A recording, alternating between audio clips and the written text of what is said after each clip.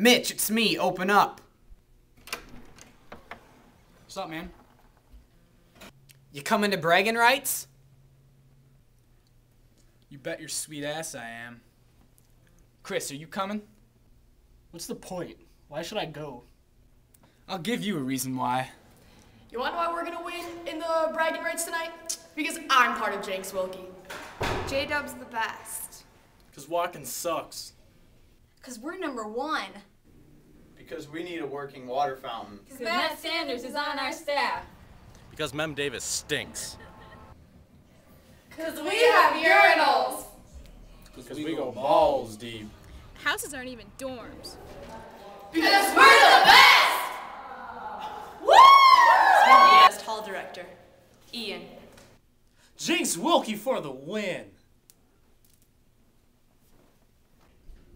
I'll be there.